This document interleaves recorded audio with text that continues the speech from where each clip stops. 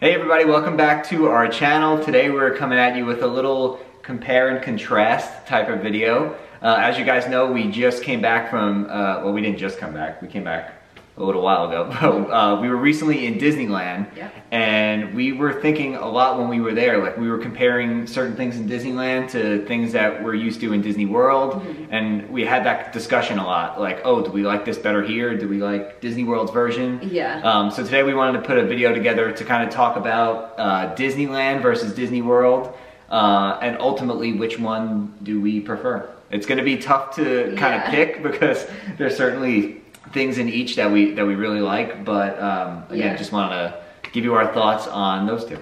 So first thing right off bat is size comparison. Yeah. When I used to work in Disney World, I used to explain to people that Disneyland Park could fit in Magic Kingdom's parking lot.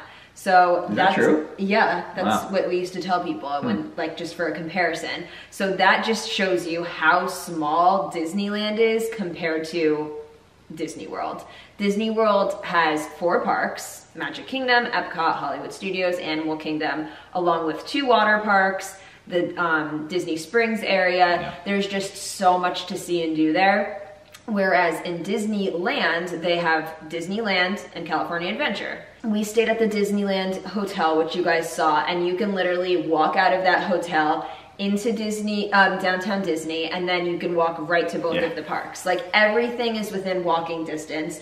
We didn't use the monorail at all when we were there. Um, no busing or anything like that. No, it's just so much easier to get around. Uh, Yeah. You, like Alex said, you literally walk everywhere. That that's a big, big plus, especially at the end of the day when you're like been at the park all day long and you just want to get back to the room Mm-hmm. Yeah. and take your shoes off and like go lay in bed. Um, you could do that a lot faster in Disneyland Yeah. because of the size. Now, at the same time, because it is smaller, there is, I- I'll use air quotes here because I don't think there's ever things that you can run out to do, but there Yeah. are less things to do in Disneyland versus Disney World. Mm-hmm. Just because you only have two parks versus four in Florida, um, and that's not including the water parks. Yeah. Um, the downtown Disney district, it, they still call it downtown Disney in Disneyland, is a lot smaller than Disney Springs in Florida. So Mm-hmm. Yeah.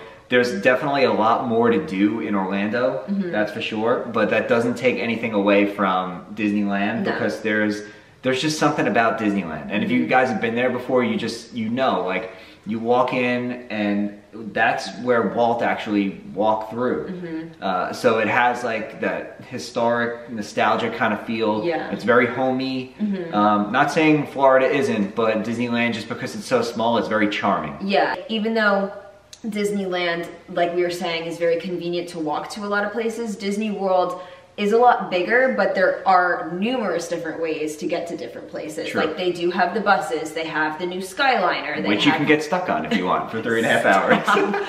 I'm kidding. I'm kidding. Um, we, the, the, we didn't mention this in our uh, like announcement, Oh, trip yeah. announcement video, but the Skyliner is something we are going to try on this trip, most likely. Yeah. Um, just fingers crossed we don't get stuck for Oh three hours, but uh, yeah, we are going to give it a go. But anyway, Mm-hmm. go ahead. But yeah, so Disney World, although it's bigger, there's a lot of different transportation, the buses, the Skyliner, the monorail. Um, there's a lot, they make it very convenient Yeah. to get to everywhere that you need to be. Yeah, no real advantage, I don't think, because the advantage to Disneyland being so small could also be taken as a disadvantage because it is small and there's less to do. So um, I don't think there is a uh, a winner in that category, but there are pros and cons to each for sure. Yeah, definitely. And next up that we're going to talk about is food. Well, actually, let me backtrack. I'm gonna we're gonna keep this to quick service food. Yeah, I was gonna say, okay. Because there's always going to be places you prefer dining, uh, like table service, one over the other. But as far as quick service goes, I don't think there is any comparison here.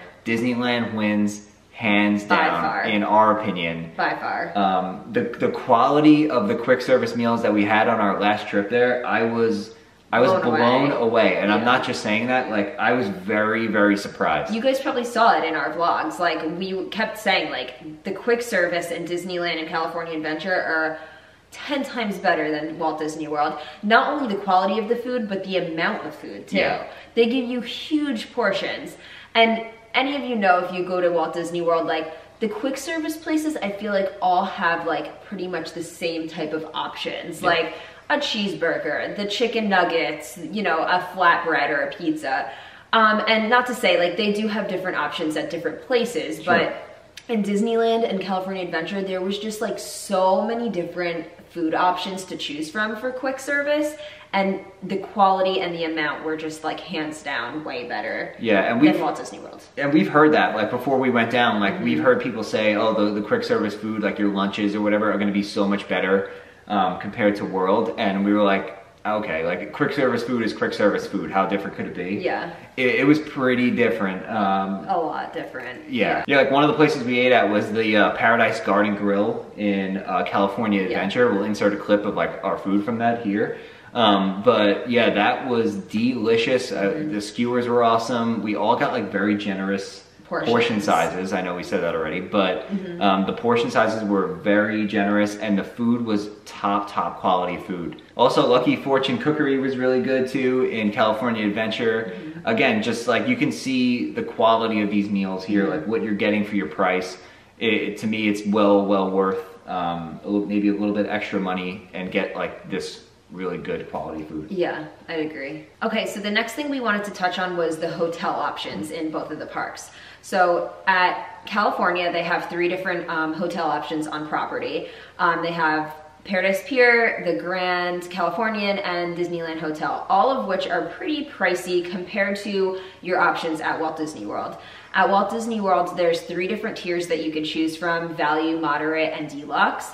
Um, and the values can be anywhere from like there could be um hundred dollar ranges, right? no for some of the absolutely. for like all stars Yeah, for, like, the All-Stars. Depending on like the seasonality yeah. Yeah, and so and then it obviously goes up from there. Compared to Paradise Pier, which is California's cheapest option, and their cheap is considered like 300 in the 300s for a standard view room for one night. Yeah, I just pulled up um, Paradise Pier Hotel, and I didn't put any specific date ranges in, but a standard view room starts at three thirty nine, Right. and that and Paradise Pier is supposed to be like their value hotel. Yeah. So the the price ranges between what's value in Disneyland versus what's value in Disney World Mm-hmm. is uh, quite quite different. Yeah. Um, the one thing I will say though, not to cut you off, Mm-hmm. is there are like there's only three um, on property hotels. I was in- gonna say this. in Disneyland, but there's all the good neighbor hotels which are right outside. So Mm-hmm. uh, you don't you won't get the same exact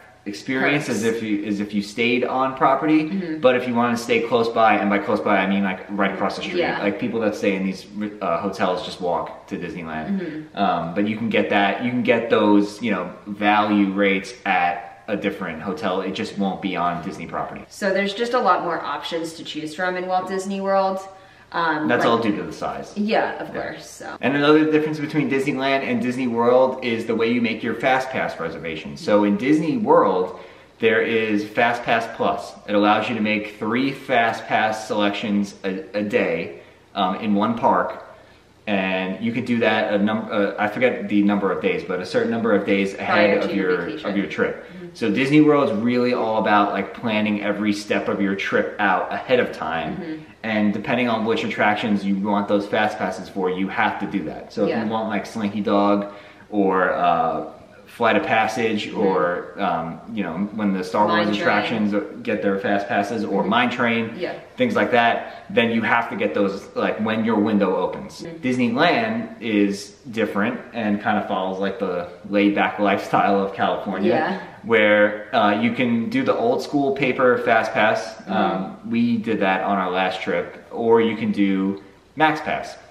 And Max Pass is fifteen dollars a day, and on your phone through the Disneyland app, you can make a fast pass reservation, and then the second like you scan it and you're in the line for that uh, Attraction. attraction, you can make another one. Yeah. So you can and you could just keep doing this all day long. And another difference between uh, Max Pass and Fast Pass Plus. With Max Pass included in that $15 a day, you get all your Photo Pass photos for the day. So any ride photos, any photos that a Photo Pass photographer takes of you, you get that included in that $15. So you get the convenience of doing all your fast passes from your smartphone or whatever, and you get your Photo Pass photos as well. yeah. Um, again, we didn't do Max Pass when we went, and like Alex said, we didn't really miss out on anything. Yeah. The only thing I will say is it say we would have saved time from walking uh, attraction to attraction. To we get did it. we did it the old school paper fast pass way, Mm-hmm. and you don't have to do that with Max Pass. You can literally just make them on your phone and then just go there. So. Mm-hmm. That's definitely a, a convenience factor, and probably something Yeah. we'll do next time we go back there. Yeah.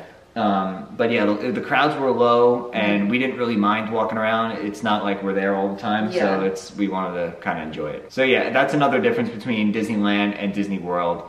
I prefer Max Pass um, because it gives everybody a fair shake at getting some of those e-ticket attraction fast passes. Whereas with Disney World, if you don't make those reservations when your window opens, it's going to be very hard to get them. Um, and I'm talking for the big attractions, like. Yeah. we said, Mine Train, uh, Flight of Passage, uh, Slinky Dog, Yeah. those type of attractions. Uh, that's not to say that you can't refresh the app throughout the day and get lucky. Somebody might have canceled one and something Mm-hmm. can pop up. That for sure can happen. But with Max Pass, you have to be in the park to make the reservation. Yeah.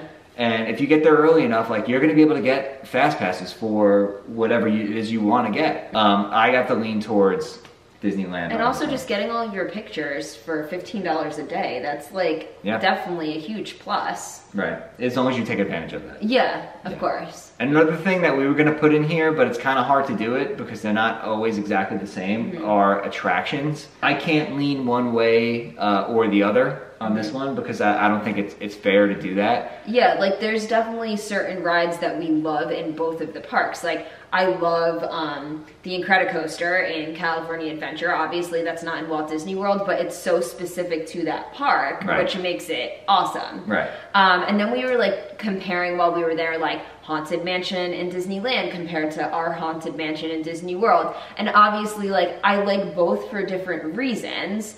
Um, of course, like, I love that they do the Nightmare Before Christmas overlay in Disneyland. I kind of wish they did it in Disney World, but um, I understand why they don't. But there's just certain things about the rides that are in both parks that we like about each one. definitely things from each that we that we like. It's Mm-hmm. very hard to say, but again, I think just due to the number of attractions and the size, I have Mm-hmm. to lean towards World. Although it this doesn't really count. So Yeah. Okay, so you're probably wondering, after all that, which do you guys prefer? This is very, very tough to pick. Um, there are things that we like in each of them. Yeah. And just because we pick one does not mean we're like, oh, we're not going back to the other one. You guys know we're going back. Yeah. Come on. Um, but if I had to pick me, and then we'll see what you have to say, I would lean towards Walt Disney World simply for the size and the amount of things to do. And also, Walt Disney World just has a lot of like nostalgia to it. That's like where I went when I was a little kid. Yeah. That's where my parents first brought me. We did the college program there. That's where we met. Like, Yeah. there's just a lot more memories there. Um, and like Matt said, it's like a full vacation destination. That doesn't take anything away from Disneyland. We love it there. And like I said, like that's the park where Walt was. So for Disney fans like us, it has a lot of history and we Yeah. love visiting there. But Walt Disney World in Florida will always be our home. But let us know um, down below what you guys feel of what we had to say in this video. Which one do you guys like better? Do you agree with the things that we compared and contrast? Yeah. Um, yeah, let us know. Yeah, and if you guys enjoyed the video, make sure you give it a nice big thumbs up. Helps us out, lets us know you're enjoying our videos. And with that, we'll see you guys real soon. Bye. Bye.